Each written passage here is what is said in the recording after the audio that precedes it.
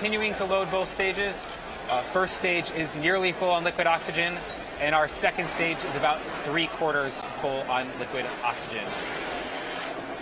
Uh, we will continue loading liquid oxygen onto the vehicles up until the T minus three minute mark. Uh, that's where we will finish topping off liquid oxygen uh, on our first stage.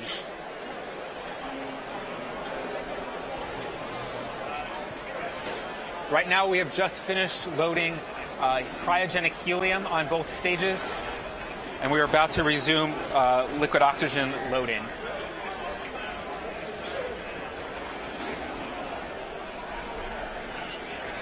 We are launching today from Kennedy Space Center, which means we are working with the Space Center as well as the Cape Canaveral Air Force Station uh, to support today's mission.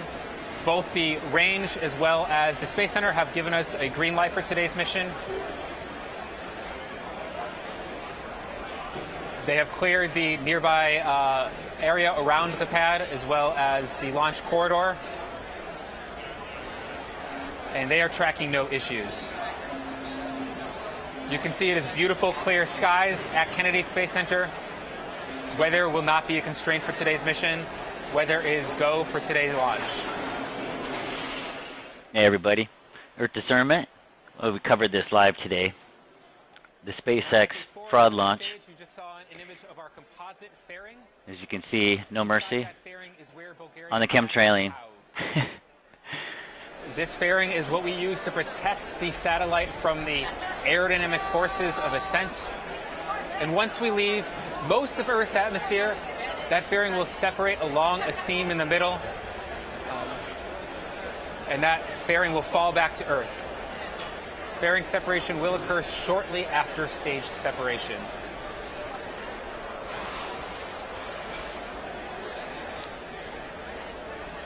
Our mission today is taking Bulgaria Sat 1 to a geostationary transfer orbit. After that satellite will separate from second stage, it will use its own onboard thrusters to perform orbital adjustments over a few weeks, and that will place Bulgaria Sat 1 into a geostationary orbit at the Bulgarian orbital position. So look how they uh, pump this up. They just uh, want to talk a bunch of uh, rigmarole beforehand, you know, giving little miscellaneous details on things, and uh, get y'all you know believing in what they're about to do and launch this uh, balloon type helium thing with a rocket show fireworks coming out of the bottom of it. Um, it's kind of funny watching the lead up intro. I you know had streamed this on the 24/7 channel today. And it was great to have live chat on it, as well as in, uh, going into some of the chats. There was about 50,000 in a Bulgarian uh, chat room watching this go off live, and so it was funny. They weren't even speaking English, but somehow whenever the word flat was mentioned in that chat, they were banned immediately. Pretty hilarious. Um, I'm thinking about fast forwarding this, but I'll watch a little bit more with you. I played it a bunch of times on the site today, but here you go.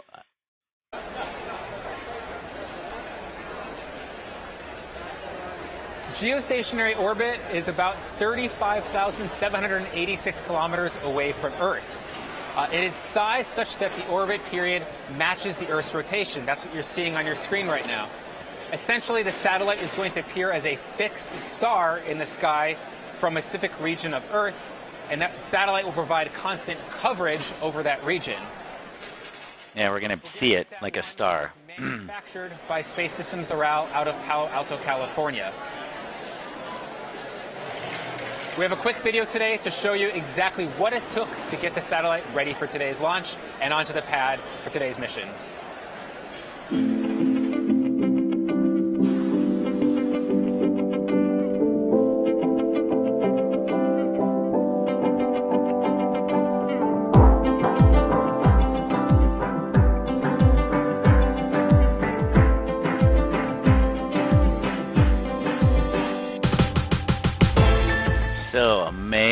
Engineering that went into it.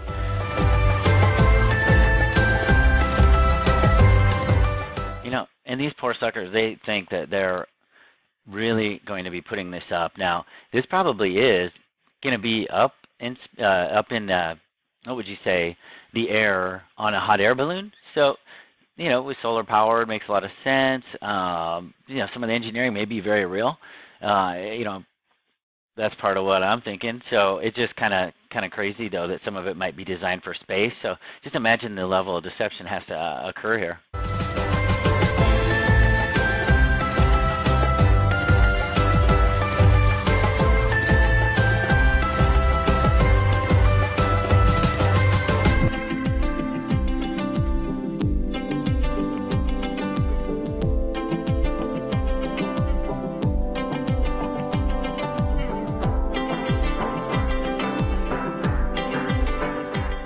We can tell they're better at CGI on this than. Uh,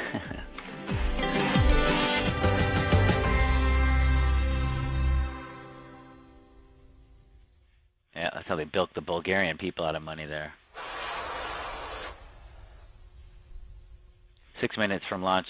I actually can't take the suspense. You can probably get the full video. Well, of course, go to their site, get the full video. Let me try to find launch here. More rigmarole. Four minutes. We are coming up on strong back retraction.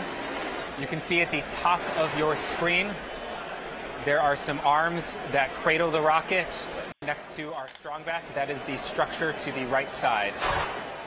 What a show. Look at all that steam coming out. And that's very, it would be likely, but it goes so slow on lift on liftoff. Backwards one and a half degrees.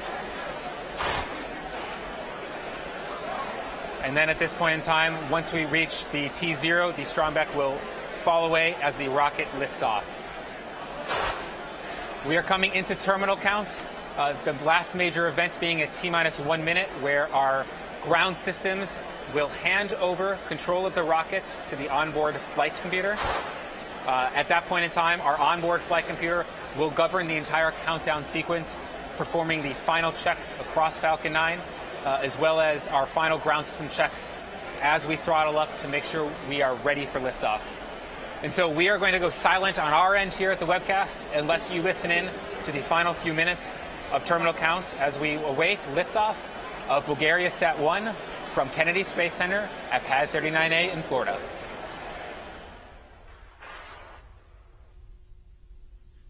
Oh, so exciting.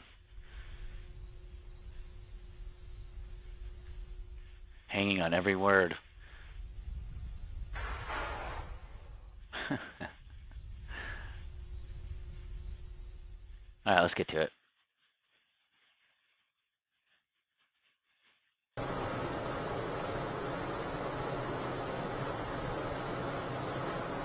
Thirty seconds counting.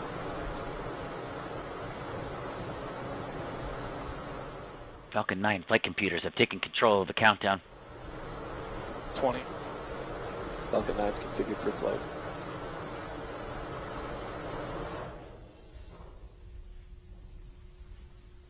Ten, nine, eight, seven, six, five, four, three, two, one.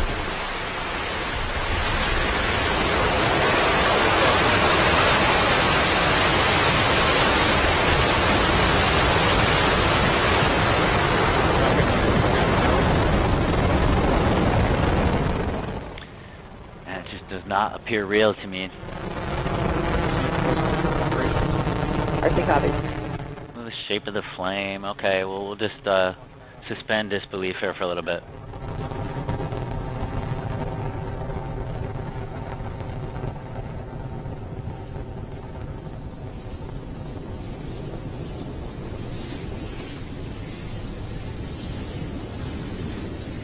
And we certainly know they can launch rockets. Uh, there's no question that that can be done just the rate of ascent when it first takes off. On its way to delivering Bulgaria Sat-1 to a geostationary transfer orbit.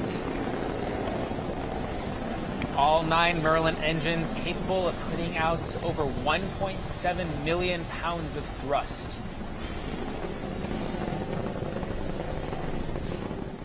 Starting to, as you can tell, is true to form, leveling off, going out over sea. Up on max Q at 1 minute and 18 seconds roughly we'll be passing through max Q, that is maximum aerodynamic pressure.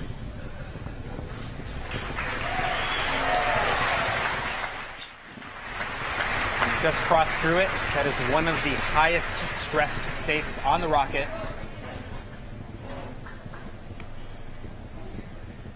Look at their own footage. Appears to almost be heading downward. I know it could be perspective, they'll say, but we know better. It's going out over sea so they can ditch. So we're over 20 kilometers above the surface of Earth. You can see the engine. Parachute would pop out, it would go down, and they would retrieve it. Rocket. Signal propulsion still nominal.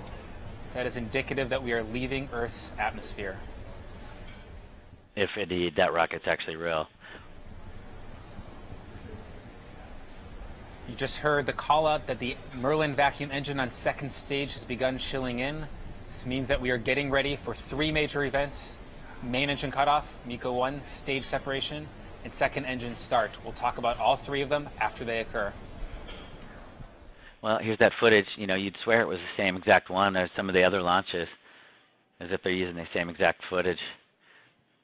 I'll have to compare some videos to take a look, but we just know that they're in cartoon mode here. You'll notice the curve of the Earth disappears here a little bit.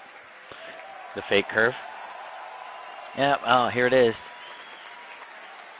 The big uh, cartoons going off.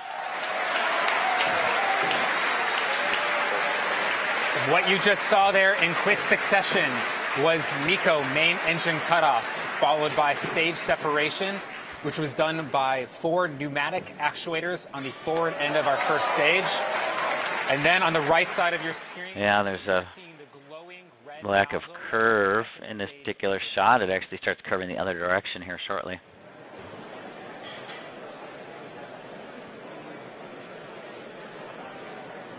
That glowing red nozzle on the second stage is how you can see that we have uh, a good ignition in space. We will have fairing separation in about 15 seconds. Just happened right now. Yep.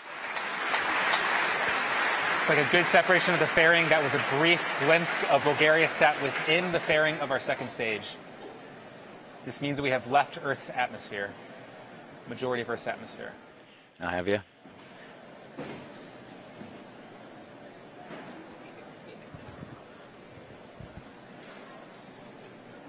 On the left side of your screen, you are seeing an image from the top tinfoil in our space. stage. You see two grid fins uh, in the sides of that image. We use those grid fins to guide the stage through the atmosphere to the drone ship.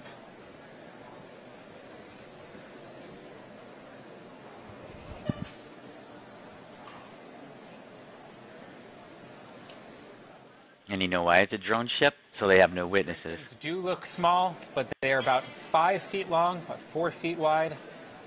So they're rather large as we, we use them to guide ourselves back. You are also seeing occasional puffs uh, come out from the side of the stage.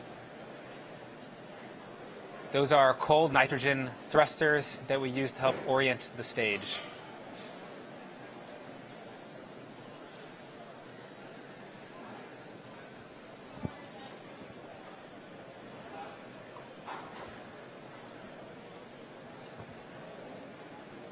Now, coming up in about a minute, we have our entry burn of the first stage. This is a three engine entry burn. Uh, for today's mission, since we are landing on the drone ship, we do not have a boost back burn. We only have an entry burn and a landing burn. Two burns total for today's mission for the first stage.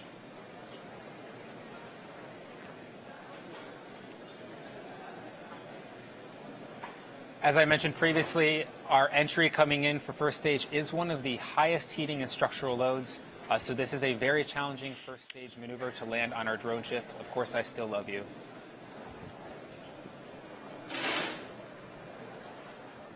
See how it's curving the other direction there in that shot.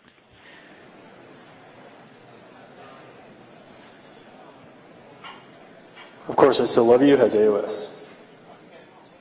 You just heard confirmation that our drone ship has acquisition of single AOS of the first stage. As it's One camera is good.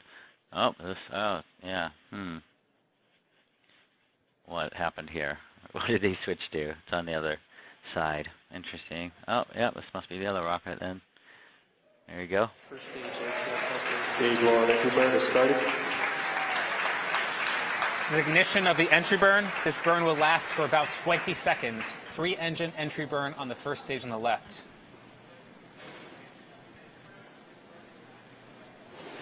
Stage one entry burn shutdown. We have a good shutdown, confirmation of a good shutdown of the first stage entry burn. Now, it is normal for us to see some of the uh, soot appear on the camera screen. We may also lose, uh, occasionally lose coverage of the first stage entry as we come in through the horizon. Uh, that is all perfectly normal. Of course. You didn't lose any. Uh, This is expected to lose the signal from stage one. We will have uh, signal acquisition as we come closer to the drone ship. it's just ridiculous. Meanwhile, you're seeing on our Too hard to fake. stage, They lose coverage. Second, this burn will last Stage to about eight stance minutes on it. 30 seconds, uh, and then we will have a coast phase for the second stage uh, before we do our final burn to put Bulgaria Sat into a geostationary transfer orbit. Second stage, air TSS stage.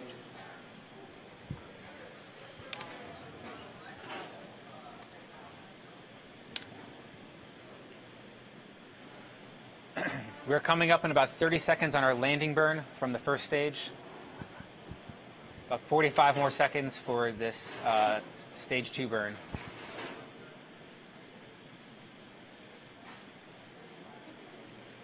Landing burn has started. The confirmation of the landing burn has started.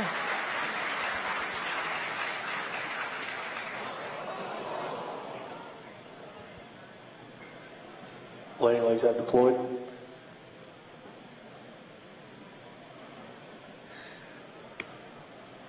It looks like we may have lost some of the footage coming in for the landing ship, uh, uh, for the, coming in for the drone ship. What a joke. Again, they lose coverage. It's absolutely ridiculous. They keep doing this on the landings even when they do show it. We know it'll be Uh, really fake. To lose signal from the drone ship as we come in. If you've watched previous uh, missions, uh, that is not uncommon for us to lose coverage of the first stage coming back to the drone ships. Uh, the rocket vibrations uh, coming into Is something like that can cause some landed. Issues. moving to procedure 11 back. And it looks like we did have a good recovery of the first stage. Um, video feed did come back. That is touchdown for first stage on the drone ship. This was a three-engine landing burn. Most challenging landing to date. Successfully touched back down on Of Course I Still Love You. Meanwhile, we have a good orbit for second stage. We are at a good parking orbit for second stage.